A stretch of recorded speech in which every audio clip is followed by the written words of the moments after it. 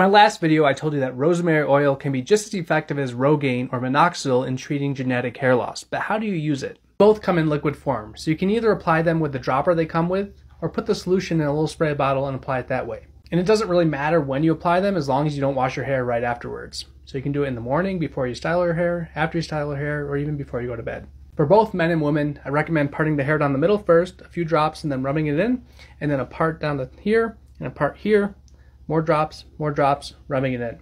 In the study for rosemary oil, they used one milliliter twice daily to get the results they showed. You can also use a scalp massager to help apply. If that seems like too much work and you still want to get the benefits of rosemary oil, you can add a few drops to your shampoo. It probably won't be nearly as effective, but it's something.